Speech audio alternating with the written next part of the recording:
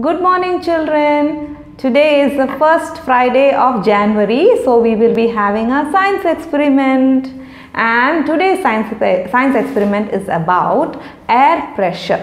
Okay, you know, air pressure can actually, pressure is something which you can put on something. Like, for example, I can exert pressure on this chowki and the chowki starts moving. Okay, now Pressure can be used for things to hold it, to be held in its place also. For example, I have a ping pong ball in my hand. This is not a ping pong ball, it's just a plastic ball. But you can use a ping pong ball if you have it because the exercise is called floating ping pong balls. Okay. Now when I throw this up, it is coming down. Is it not? If I throw it, it's coming down and it will roll away. Is it not? Okay. Now, how can I have it suspended in the air like that? Suspended means, how can it just stand floating in the air like that? Is it possible? If I drop it, what will happen? It's going to fall. Is it not? But there is a way you can make it float in the air. And that is the experiment we are going to do. And how do you make it float? We are going to make use of air to help it float. Now from where can I get air? Air is everywhere, right? That same air only I am going to use. That air I am going to use but this is going to float.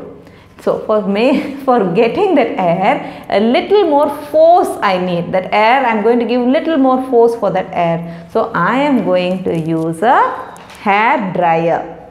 You know what's a hair dryer?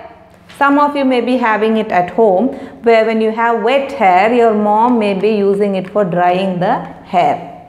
Okay. If not this, at least you might have a vacuum cleaner from which the air comes out. The vacuum cleaner is best because it has more power because certain basic models of hair dryers have little power only. So you can make it float only up to this level.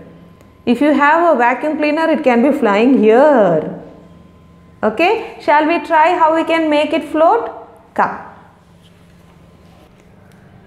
So now this activity involves electricity. So I want this experiment to be done with parental supervision. Okay, your parents must be around to help you to switch it on and off. Okay, the ball how you handle it that part you can do. You can hold and put the ball yourself. The remaining things they'll have to do. So if it is uh, vacuum cleaner means once it is on the air will be there you can try how high it can go. If it is going to be the um, hair dryer means there will be a switch on this that also you will have to switch on apart from this switch here. For example I will switch it on here. Do you hear? Okay. Now let's see what happens to our ball.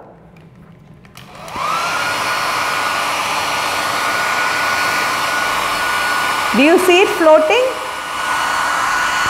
See, I am moving at the ball.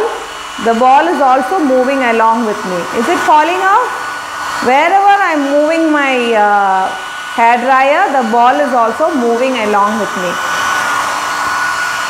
See that? So it's floating up in the air. I am trying to bounce it. You see that?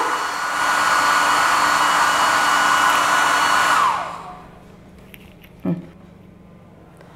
That is this month's science experiment trying to float a ping pong ball. Did you all enjoy it? Do you want to try it? Please try it. Try it either with a hair dryer or with a vacuum cleaner. Now you saw me that when I was moving the hair dryer like this trying to bounce the ball, the ball was able to bounce in the air and stay floated also.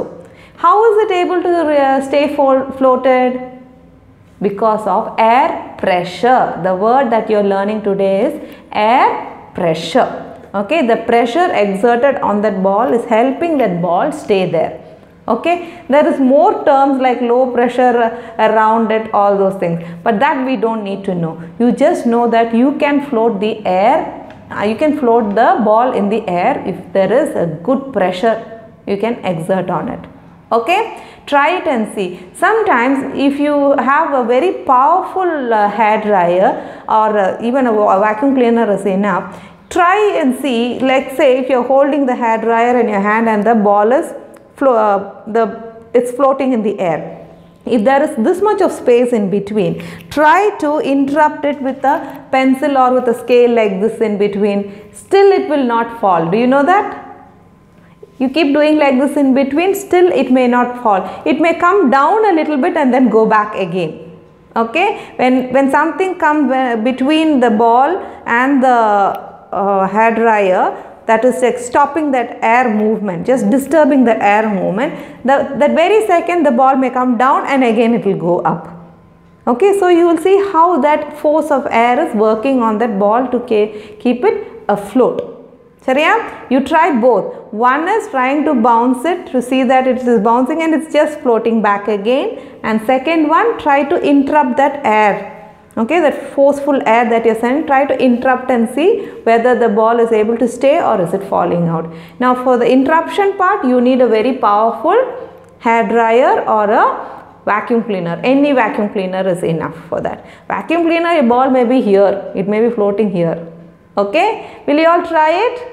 Okay children there is no worksheet for you for this particular uh, uh, exercise. I have not sent it to you. You it's enough that you try this and see how it works out for you. I'm sure you'll all enjoy it. Okay. See you all in another video. Until then, bye-bye.